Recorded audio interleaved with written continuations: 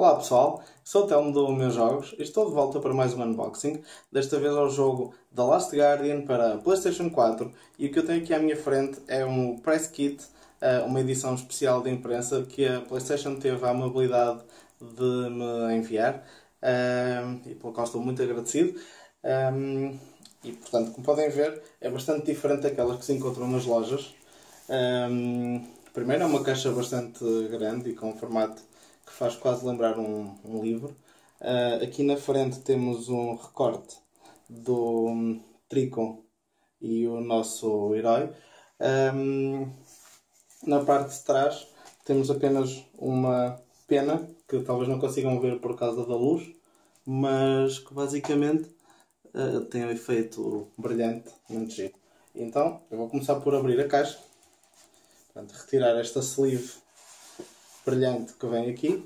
Portanto, podem ver a sleeve com o recorte. E vou pôr aqui ao meu lado. E depois a caixa propriamente dita, que tem aqui uma, uma bela textura de penas. Portanto, este é o lado de cima. Um, na parte de trás temos apenas o logótipo da PlayStation. Vamos então abrir aqui esta caixa e, e, e ver o que é que está no seu interior. E cuidado. E aqui temos um recorte com a arte do Last Guardian, uh, que está espetacular. Estão a ver, isto é um efeito de profundidade.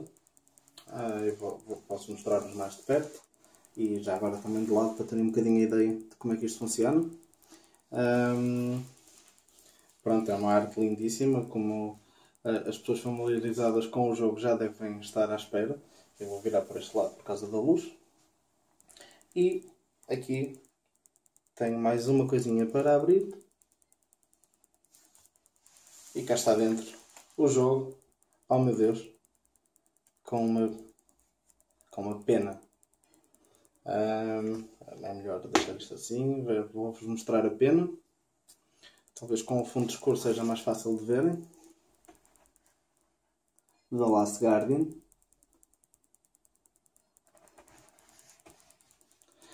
Portanto, isto será supostamente uma pena do Trico que, que me veio parar as mãos. Obrigado, Trico. Que engraçado. Bem, e hum, aqui dentro temos ainda uma espécie de envelope.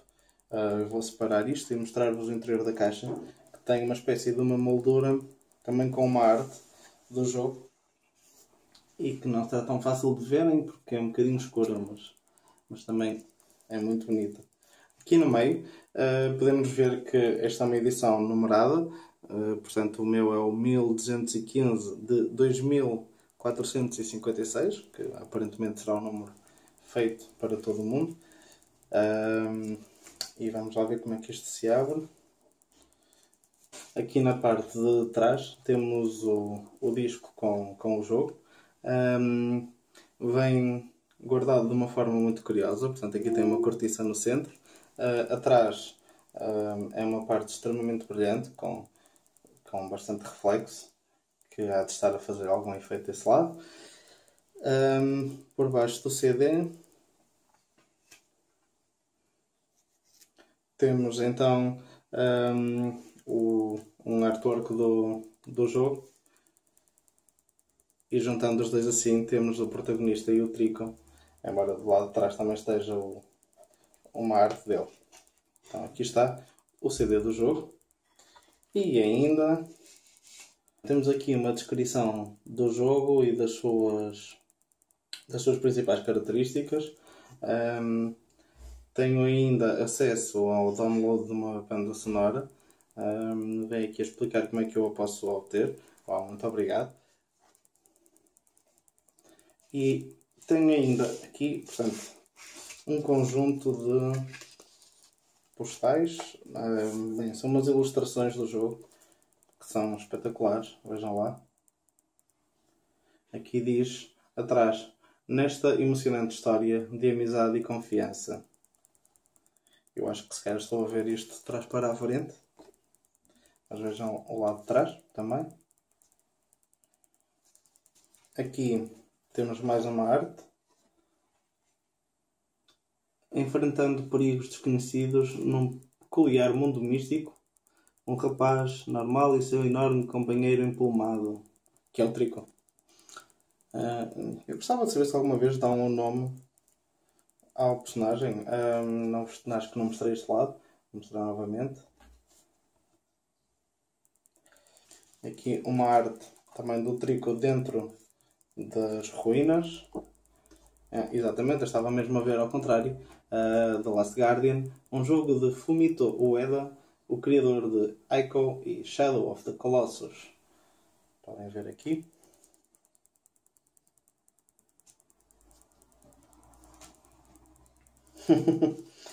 e aqui temos uma carta. Uma carta do Fumito Ueda, o criador do, do jogo, um, e que acho que vale a pena ler para vocês. Caros aventureiros, demorou muito tempo, mas é uma grande satisfação e alívio saber que The Last Guardian está finalmente nas vossas mãos. Quando começamos a trabalhar em The Last Guardian, tinha a intenção de o fazer evoluir a partir da nossa experiência de trabalho em Ico e Shadow of the Colossus, tornando-o em algo semelhante a uma espécie de coletânea de grandes êxitos. Infelizmente, como sabem, deparámos-nos com alguns imprevistos pelo caminho e demoramos um pouco mais do que o esperado a lançar o título. Ainda assim, tal como Ico e Shadow of the Colossus, que são jogos verdadeiramente únicos, também The Last Guardian é uma experiência sem rival. Ao longo do jogo, Aproveitem para parar e desfrutar do cenário enquanto acompanham estes companheiros improváveis na sua jornada.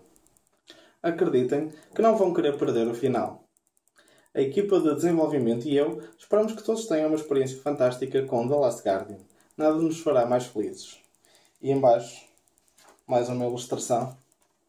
Um, eu acho que isto, isto é daquelas coisas, daqueles toques pessoais que vêm nos kits de, de imprensa que fazem sempre isto ser uma coisa muito especial. Um, e portanto, eu penso que era suposto ter desvendado isto por esta ordem e ir vendo os diferentes artworks. Mas, paciência. Para a próxima já sai direito. Temos então aqui esta caixa espetacular, o Press Kit Last Guardian. Agora só me resta pegar no jogo e começar esta aventura para poder analisar e mais tarde publicá-la no meusjogos.pt. Uh, ah, espero que tenham gostado deste vídeo e já sabem, se gostaram, deixem like aí em baixo.